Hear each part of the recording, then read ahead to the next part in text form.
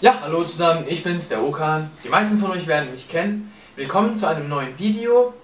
Wie ihr sicher festgestellt habt, sind Herr Thein und Herr Fenrich in diesem Video nicht vertreten, da dieses Video meine GFS darstellen soll, mit dem Thema 3.7 unbegrenzte Flächen, die sich auch mit den uneigentlichen Integralen befassen. Kurz zur Vorgehensweise. Erst werde ich euch erklären, was, was mit unbegrenzten Flächen und uneigentlichen Integralen auf sich hat, wie man da vorgeht.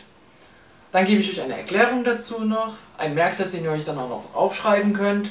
Zum Schluss noch eine Aufgabe, wo ihr dann dieses erworbene Wissen auch nochmal in die Tat umsetzen könnt und schauen könnt, ob ihr es auch wirklich verstanden habt.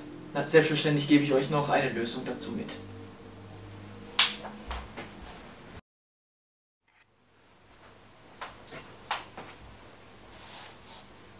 So, zur Veranschaulichung habe ich für euch die Funktion f von x gleich 1 durch x Quadrat ist gleich x hoch minus 2 angegeben. Wie sind wir bisher vorgegangen? Ja, wir hatten bisher immer, das, immer beide Grenzen des Integrals angegeben gehabt. Das heißt, wir haben, die ober, ja, wir haben die obere sowohl als auch die untere Grenze angegeben gehabt. Von a nach b. Hier habe ich schon mal aufgezeichnet, das Integral von 2 bis 4 und wie, ich, wie habe ich das bestimmt? Ja, ich habe das Integral von a nach b von 1 durch x dx aufgeschrieben, habe dann, von die, habe dann von dieser Funktion die Stammfunktion gebildet, also umgangssprachlich auch aufgeleitet. Das wäre dann minus x hoch minus 1, untere Grenze und obere Grenze außerhalb der eckigen Klammer aufgeschrieben, habe dann die obere Grenze eingesetzt in die Stammfunktion minus untere Grenze eingetragen in die Stammfunktion und habe dann so die Fläche rausbekommen. Was mache ich aber, wenn ich anstatt 2, anstatt das Integral von 2 bis 4, das Integral von 2 bis t angegeben habe, wenn da eine Variable drin steht? Ja, eine Variable ist ja keine Konstante, das ist ja keine eindeutige Grenze, die hier angegeben ist. Das würde dann heißen, da die Grenze unbekannt ist, die Funktion hat hier einen asymptotischen Verlauf. Ich schreibe es nochmal hin. Asymptotischer Verlauf. Ja, es hört sich wirklich schlimm an.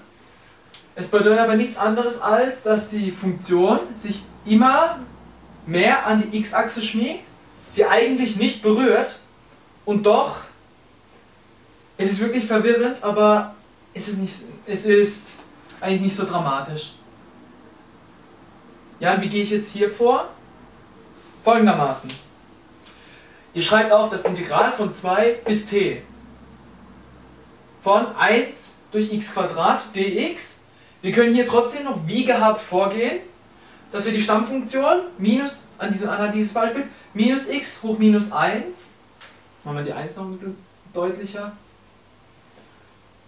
wieder in eine eckige Klammer eintragen, die obere und untere Grenze dazu auftragen und wieder, jetzt, hier ist es jetzt wirklich etwas blöd, da ihr für einen Buchstaben einen anderen Buchstaben einsetzt. Ja, das ist, das ist halt eine wirklich blöde Situation, aber es, soll, es wird wirklich für keine Verwirrung am Ende sorgen. Sollte eigentlich auch nicht, wie er, wenn er richtig vorgeht. Ihr setzt die obere, obere Grenze wieder ein in die Stammfunktion, minus die untere Grenze in die Stammfunktion. Jetzt habt ihr hier stehen, in Klammer, minus t hoch minus 1 Klammer zu, minus, Klammer auf, minus 2 hoch minus 1, Klammer zu. Jetzt könnt ihr zu Recht sagen, ja, wie soll ich denn das in den Taschenrechner eingeben? Geht doch gar nicht, da kommt doch nichts raus. Jetzt wissen wir, dass t nicht, nicht genau definiert ist, dass die Fläche, dass die Fläche, dass die untere Grenze bei 2 ist, aber dann immer weitergeht. Das heißt, die Fläche geht wirklich bis über, die, geht nach, die geht bis nach 10.000 Millionen. Sie ist unendlich groß. Sie geht wirklich immer weiter. Sie geht wirklich immer weiter. Das heißt, jetzt Limes t gegen plus unendlich. Ich setze für t eine wirklich große Zahl ein. Ich setze für t eine wirklich große Zahl ein, denn das hier umgeschrieben wäre nichts anderes wie minus 1 durch t. Das, das wäre ja nichts anderes wie, also, als wenn ich eine wirklich große Zahl in den Nenner einsetze. Beziehungsweise ich setze ja wirklich eine große Zahl. Je größer diese Zahl ist, desto kleiner wird, die, wird, die, wird, das, wird das komplette hier. Bis es irgendwann praktisch 0 ist. Und damit verschwindet dann dieser, dieser Befehl und es bleibt nur noch dieser hintere übrig. Und dann werdet ihr, wenn ihr jetzt bei 1000, wenn ihr jetzt bei 1000 anfangt, werdet ihr am Anfang wirklich erst 0,49 äh, rausbekommen. Und je größer die Zahl wird, je größer die Zahl ist, werdet ihr irgendwann, ich glaube bei 10, ich glaube bei 10 Millionen oder sogar noch ein bisschen höher, nach, bei 10 Nullen, werdet ihr dann auf 0,5 kommen. Und danach wird sich der Wert eigentlich fast gar nicht mehr verändern. Und somit kommt ihr dann insgesamt auf eine Gesamtfläche, auf Flächen ein, auf 0,5 Flächeneinheiten. Ja, ihr denkt jetzt, okay, ja, wie kann das sein? Da diese Fläche aber immer mehr ins Unendliche geht, wird die Fläche unterhalb der x-Achse immer, immer kleiner. Die wird dann wirklich so minimal, die Fläche, dass sie wirklich dann im Gesamten am Ende nur noch 0,5 ergibt. Das, war, das wäre jetzt zum Beispiel ein Beispiel dafür. Was wir jetzt noch nicht betrachtet haben wäre, ja, was machen wir, wenn, das, wenn die Fläche in die andere Richtung gehen würde?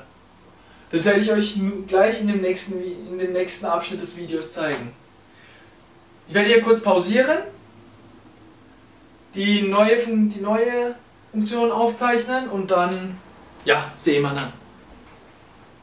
So, ich habe für euch noch ein zweites Beispiel aufgemalt. Die Funktion y ist gleich 2 durch x Quadrat. Diesmal lasse ich aber die Funktion gegen 0 laufen. In Richtung, der x, in, Richtung von 0 auf der y, äh, auf der, korrigiere, auf der x-Achse. Und wie gehe ich hier vor? Wie finde ich hier wieder die Fläche raus? Na ganz klar, ich schreibe auf, a von z, die Fläche von z, ist gleich das Integral von z als untere Grenze bis 3, obere Grenze, 2 durch x dx. Bilde hier wieder die Stammfunktion. Die Stammfunktion ist hier minus 2 durch x. z als untere Grenze, 3 als obere Grenze. Setze dann wieder ein. Obere Grenze in die Stammfunktion minus die untere Grenze in die Stammfunktion. Minus, minus, minus wird plus. Und als Ergebnis würde ich auch nur das hier rausbekommen. Denn für z gegen 0, für z gegen 0 gilt a von z, schreib es mal auf, a von z gegen plus, Entschuldigung, eine 8, sollte es nicht sein, gegen plus unendlich. Somit wächst der Inhalt von a von z unbegrenzt. Und wenn es unbegrenzt wächst, hat die Fläche hier auch selbstverständlich keinen endlichen Inhalt. Das wäre dann hier noch ein zweites Beispiel gewesen. So, hier noch die allgemeine Definition. Bei der Untersuchung unbegrenzter Flächen auf einen Inhalt untersucht man Integrale mit einer variablen Grenze und einer festen Grenze wie das Integral von 1 bis z von f von x dx oder wie das Integral von z bis 3 von f von x dx auf einen Grenzwert für z gegen plus minus unendlich beziehungsweise für z gegen c. Dabei ist c eine Konstante. Übernehmt diesen Merksatz in euer Heft und dann kommen wir zu den Aufgaben.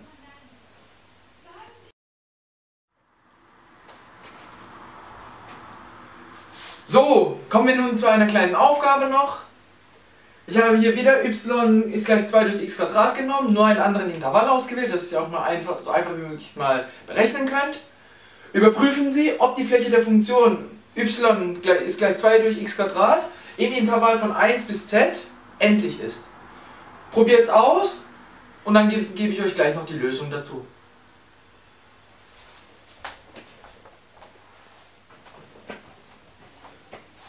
Da bin ich wieder. Kommen wir nun zur Lösung der Aufgabe.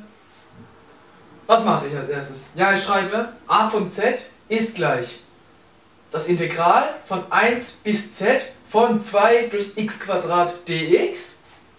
Gehe wieder wie gehabt vor, Stammfunktion bilden, untere und obere Grenze eintragen, erst die obere Grenze einsetzen in die Stammfunktion, minus untere Grenze eingesetzt, bekomme, bekomme ich raus, minus 2 durch x plus 2, forme es nochmal um, hole die 2 nach vorne, dann heißt es 2 minus 2 durch z. Nun untersuche ich das Verhalten von a von z für z gegen unendlich. Dann gilt hier a von z gegen 2 für z gegen unendlich. Somit ist das Ergebnis für diese Aufgabe, beziehungsweise der Flächeninhalt der unendlichen Fläche gleich 2. Somit ist die, ist die Fläche endlich und wir haben sogar noch den genauen Flächeninhalt der unendlichen Fläche herausgefunden. So, das war's dann auch. Wenn ihr Fragen habt, dann schreibt sie in die Kommentare. Ich werde versuchen, sie zu beantworten. Ciao!